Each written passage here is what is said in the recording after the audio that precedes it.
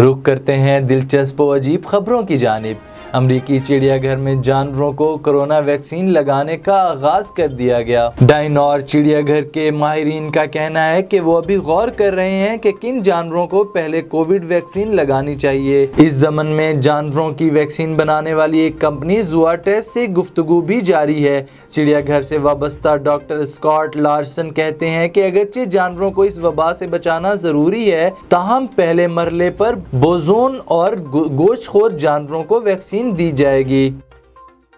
दुनिया की सबसे लंबी ज़ुबान रखने वाला भारतीय नौजवान, भारत में 20 साल तालब इम की ज़ुबान दस अशारिया आठ सेंटीमीटर लंबी है, जिससे वो पेंटिंग करने के अलावा हैरान कन तौर पर लिख भी सकता है। भारतीय मीडिया के मुताबिक रियासत तमिलनाडु का 20 साल नौजवान इंजीनियरिंग की तालीम हासिल कर रहा है।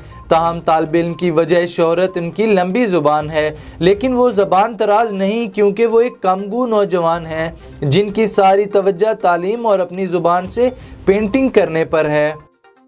और वैसे तो गोलगप्पे तकरीबन सभी के मनपसंद होते हैं, लेकिन भारत में गोलगप्पों की शौकीन दुल्हन को शादी की तकरीब के दौरान गप्पों का ताज पहनाया गया। सोशल मीडिया पर वायरल वीडियो में खातून को गोलगप्पों का ताज दुल्हन को पहनाते देखा जा सकता है। यही नहीं, भारतीय दुल्हन ने गले और हाथों में पहने जाने वाले जेवरात के तौर पर भी गोलगप्पों का ही इंतखब किया है।